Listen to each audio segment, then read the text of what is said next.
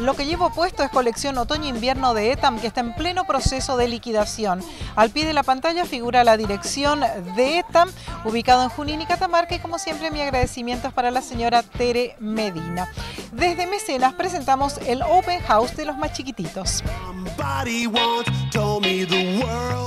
Bueno, esta semana mostramos la Open House, nuestra tradicional Open House que es un espacio donde los chicos de, del nivel primario del primer ciclo, de primero, segundo y tercer grado, eh, participan eh, interpretando cuentos infantiles en inglés.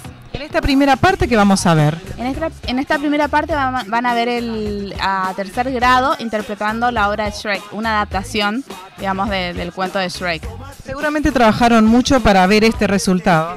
Así es, Rosana. La verdad que estamos muy contentos con el trabajo de los chicos, eh, con el proceso, digamos, del trabajo. Ya pronto verán los resultados, van a verlas en las imágenes. Eh, así que, y yo lo que más rescato de este tipo de espacio es que más allá del inglés, acá se viene a disfrutar del inglés en este espacio y también se viene a aprender a manejar el espacio, a, a bailar, a interpretar, a marcar un ritmo.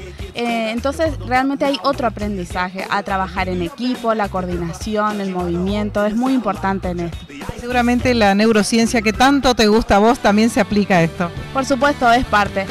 se hacen muchas conexiones porque acá se, integra nuestro cerebro. ¿eh? ¿Por qué? Porque estamos fijando conocimiento a través del movimiento, eh, con las palabras, con, con la parte académica eh, con la música, con la interpretación. Así que bueno, más que contenta eh, y bueno, defendiendo este espacio full porque me, gusta, a los chicos les encanta y les hace muy bien. ¿Qué vemos la semana que viene? La semana que viene vamos a ver eh, los chicos de primero y segundo grado interpretando. Primer grado va a interpretar una adaptación de la obra de los 101 Dálmatas y segundo grado la obra de Mowgli's Story que es, está basada en el libro de la selva.